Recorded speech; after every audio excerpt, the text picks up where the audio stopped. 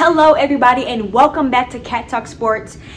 It has been a while since I made my last post, but between school and practice, my life has been very hectic, so I apologize on my end, and I'm gonna try to stay more consistent. I have a special guest with me tonight. Hey everyone, my name is Ariana, and it's a pleasure to be here. Today we're gonna be talking about the men's soccer team and recapping on that. Hope you enjoy.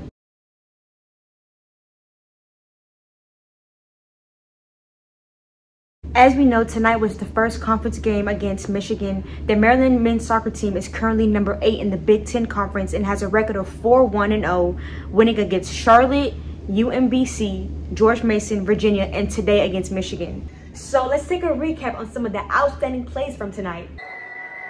Bolma's also there. It's going to be Bolma with the right, and Bolma in!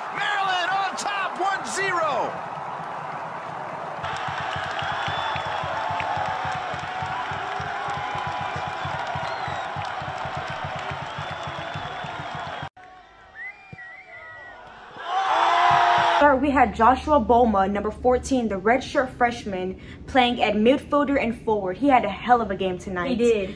He scored his second career goal for Maryland during the 55th minute and had the crew going wild. I mean, you had to be there to see it. You really did. Assisted by the junior Malcolm Johnson, Justin Harris scored the second goal of the night, leading the Terps with a win and a final score of 2 and 1. The Terps will stay home the next game and are set to play the High Point Prowlers Monday at 7 p.m. We hope to see you there. Go Terps. I'm Katt. And I'm Ari. And thanks for tuning in to Katt Talk Sports.